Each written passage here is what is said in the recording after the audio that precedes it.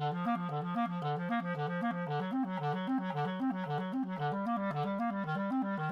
morning, everyone, and happy Saturday! My name is Cally, and this is the second episode of Clarinets, Cats, and Coffee. In today's episode, I'm going to give you guys a little exercise to help strengthen the muscles in the right hand. But before we do that, I actually have a few things I'd like to share with you. First of all, um, if you aren't aware of it, a few weeks ago I did my very first live stream. And it was a live stream on air support and breathing. And it was about 40 minutes of me giving viewers different exercises and tips and things that they could do to improve on air support and stuff. And it was actually a great success. I had a number of students from my studio log in at that time to watch, and also a few regular YouTube viewers. So it was pretty cool. And thanks to all of you guys who made it out. Now, um, the exciting thing is that I actually finally put timestamps in the description of the video. So those of you who are finding out about this for the first time, be sure to go check it out. You've got, you know, you'll go to the description and there's like this whole like list of maybe 10 different timestamps, all these different exercises and things, including my breathing philosophy. Cool things you can do with a straw and blowing out a candle, and even that little device that helps you measure, you know, how much lung capacity you have and stuff like that. So it's pretty cool. Be sure to, you know, take a watch if you um, are interested in such things. Also, this past week, I recorded Rose Etude number seven, and um, that in itself isn't extraordinary because a lot of people are doing that. But if any of you are kind of following what I'm doing and my equipment and everything, you know I play on a BD5. It's a traditional pitch BD5. I decided this past week to record my Rose Etude on another mouthpiece that I like a lot, which is the B40 Lyre 13 series. And it uh, it's pitched a little bit lower, um, closer to 440, and it actually works really well with my new Yamaha CSVR. So I don't know, I might have to reevaluate some things or maybe I won't. I don't know. You know, if you're interested in hearing what that sounds like, be sure to watch that video as well. Lastly, um, you probably know this already, but I have a Patreon page and it's a place where viewers can just help out um, in supporting my channel. So if you like what I do, just stop on over. It's like I've it's like a tip tip jar. You just kind of like say, okay, once a month I'm gonna make this $3 contribution to Cally's Clarinet channel. At the very least, just watching my videos and, you know, sharing them and, uh, you know, generally um, watching my content really makes a big difference as well. So thank you all for that. As I get my clarinet together, where's my instrument anyway? I don't know where it went. Now, as I put my instrument together, I'm gonna tell you a couple of things. Um, first of all, I've got this box right behind me. It's the most luxurious little shoebox you've ever seen, right? It's the perfect size for a nice, snuggly, cuddly kitty named Luke. So I'm I put this out to hopefully entice him to make an appearance in the video. We'll see if that happens. So be sure to I don't know, watch to the end. Hopefully he will make it. Otherwise I just have a random shoebox in my video. I guess that's fine. I decided to do a video on strengthening the right hand muscles with one etude in particular um, because next week or the week following I'm going to be posting a video on Rose Etude number 8 and if you look at that etude it's full of all kinds of runs going up and down over the break. And I actually kind of realized like man I'm like kind of out of shape. I did some Vade Mecum by Jeanjean, which I really love, and then I'm like all into Klose lately, so I went through and started practicing some of these cool Alberti bass passages and I was like, dude, that'd be great. I need to put that in my next episode of Clarinets, Cats, and Coffee for your weekend practice routine, guys. So that's what I'm gonna do. Now, before we actually start this this practice routine, I'm just gonna kind of tell you what I'm I'm going to do. So I'm actually going to practice for maybe 10 to 15 minutes and I'm going to use my metronome.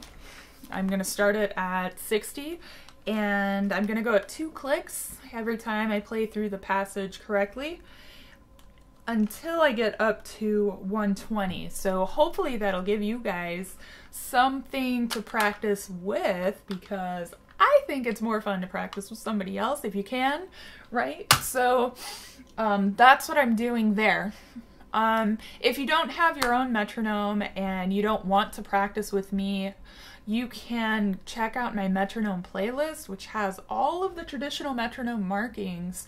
So if you use the two click method, which I highly recommend, um, you just go every other marking in the metronome playlist until you get up to whatever your goal tempo is. Now, if you want to practice with me and I'm going too fast, you can take the video speed and slow it down and it shouldn't um, affect the pitch too much. Um, it may sound a little funny, but um, the content, you know, it'll still be the same. So be sure to do that if you need to. This exercise is just so great because not only do you practice closing your hand using these muscles, which we're all very good at because we hold things on a daily basis. But you also get really good at practicing coordinating the lifting motion of your fingers, multi finger lifting, which there's not enough emphasis put on strengthening these muscles in the hand and the arm. So Alberti bass exercises are like so much fun and really great for working that muscle system out. I think I have pretty much said everything, so why don't we just go ahead and get started.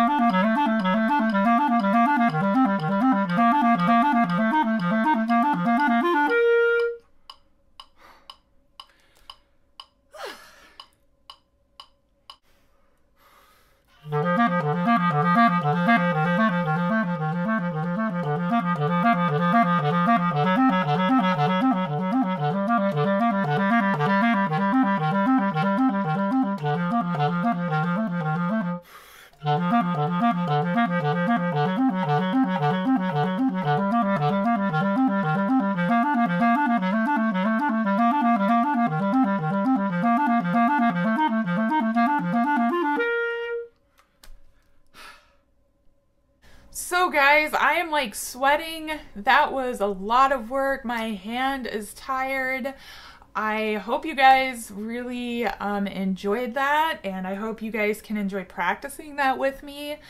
The best way to really get good at something and build muscle, though, is to do it every day on a regular basis for, you know, I'd say at least do it a week, you know, change it up, do a different exercise in a couple weeks, but you have to, you know, it's just like working out. You kind of have to keep that muscle going. And the repetitive nature of doing this with your metronome, trying to beat the tempo you got to the day before, and so on and so forth, that's how you really build the muscle and the coordination to improve your hand and finger strength. So if you enjoyed playing this, leave a comment in the comments below. And, you know, if you have any tips or, you know, whatever, just want to say hello, also leave a comment below. Otherwise, I hope you guys have a great weekend, have fun practicing, and I will see you next Saturday for another episode of Clarinets, Cats, and Coffee. Thank you all so much for watching, and as always, happy practicing!